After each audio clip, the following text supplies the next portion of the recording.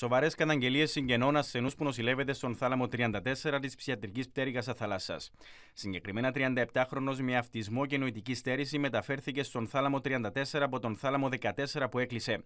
Αρκετοί από τον θάλαμο 14 που ιδρυματοποιήθηκαν και μεταστεγάστηκαν σε ειδική κοινότητα.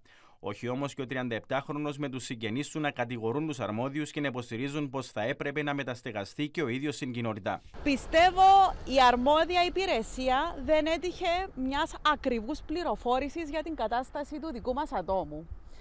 Επίσης να σας πω ότι η συγκεκριμένη, συγκεκριμένη υπηρεσία παραγνωρίζει τόσο προκαταρκτική γνωμάτευση του Γραφείου Επιτρόπου Διοικήσεως και Ανθρωπίνων Δικαιωμάτων και παραγνωρίζει επίσης και ιατρική έκθεση από τη Διευθύντρια εδώ του νοσοκομείου που λέει ότι τέτοια άτομα θα μπορούσαν να μεταστεγαστούν και αυτά. Μιλούν για τριτοκοσμικές συνθήκες διαβίωσης. Περιγράφουν τον θάλαμο 34 σαν κλειστή φυλακή. Κατηγορούν μάλιστα τους υπεύθυνους για πλήρη αδιαφορία. Γνωρίζω πολύ καλά ότι τους κλειδώνουν από η ώρα 7 στο δωμάτιο τους, επικαλούμενοι το θέμα ασφάλειας, γιατί τάχα δεν υπάρχει αρκετό προσωπικό για να μπορεί να υπάρχει θέμα ασφάλεια.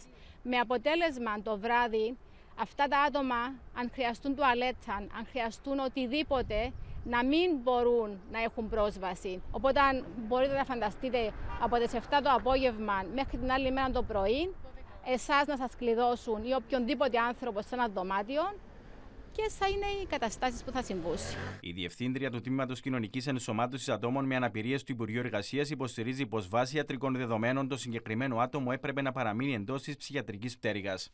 Δυστυχώς, σήμερα τα ιατρικά δεδομένα της υγείας και της αναπηρίας του συγκεκριμένου ατόμου δεν επιτρέπουν την αποϊδρυματοποίηση του, δεν επιτρέπουν την μεταφορά του στο παρόν στάδιο σε σπίτι στην κοινότητα.